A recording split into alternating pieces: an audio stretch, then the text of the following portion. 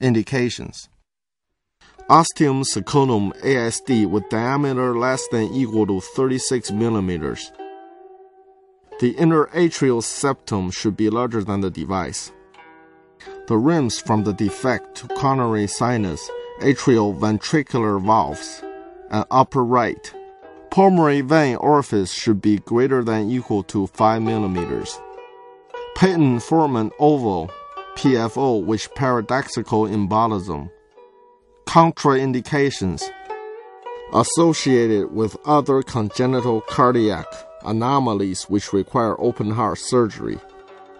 Ostium primum ASD, severe pulmonary hypertension, Eisenmenger syndrome, total occlusion of inferior vena cava due to thrombosis, general condition not suitable for transcatheter therapy. Implementation of ASD occluder. A standard right heart catheterization is performed after introducer sheath being inserted into the femoral vein. The delivery sheath is exchanged into the left atrium or left pulmonary vein over the wire. The occluder screwed onto the delivery cable is then advanced in the sheath until reaching its distal end. The rotation of the delivery cable should be minimized with the guidance of fluoroscopy and transesophageal transthoracic echocardiography.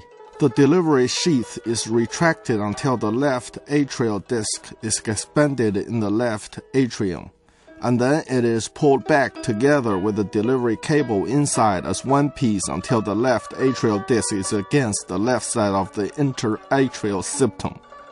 Subsequently, the sheath is further retracted that leads to the expansion of the right atrial disc on the right atrium.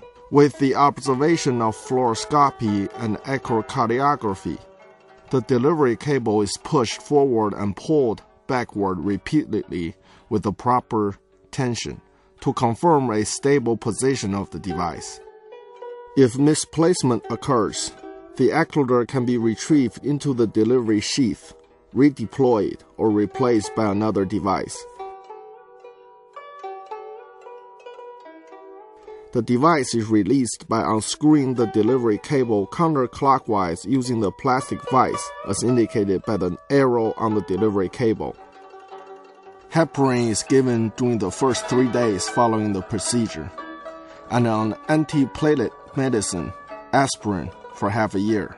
Patients will return to the hospital for follow-up visits scheduled at 3 months and or 6 months after the procedure.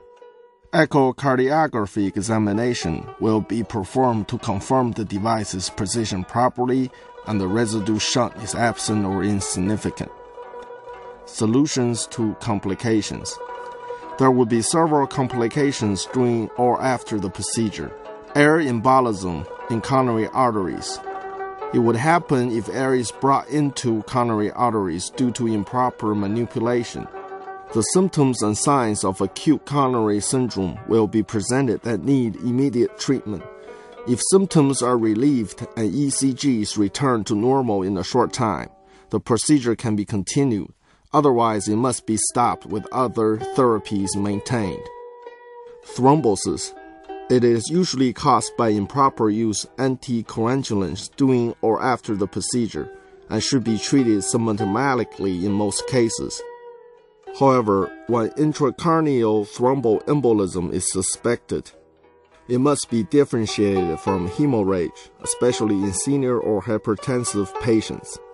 Device dislodgement once it happens, an emergent open heart surgery or transcatheter procedure should be performed to remove the device. Cardiac tamponade.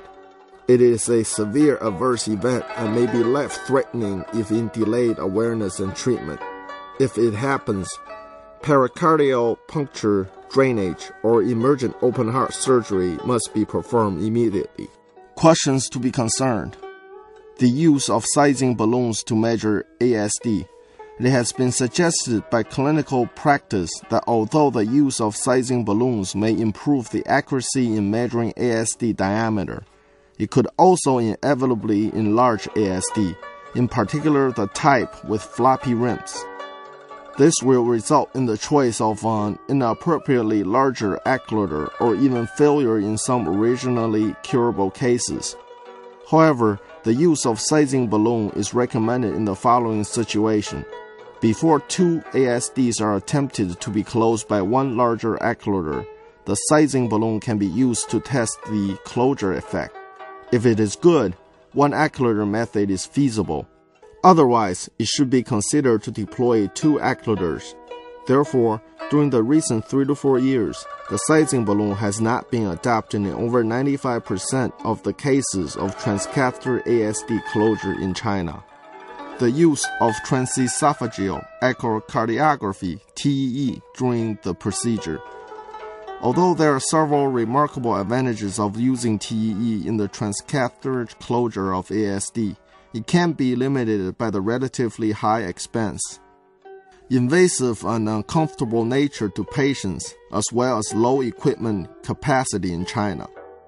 The experts in China have found a series of methods of applying transthoracic echocardiography TTE in the guidance of the transcatheter procedure, according to their experiences in ten thousands of cases.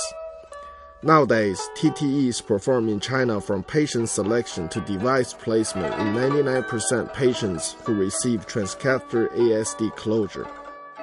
While TEE is performed in obese patients or those have large defect with floppy rims, the safety and reliability are comparable between TTE and TEE methods.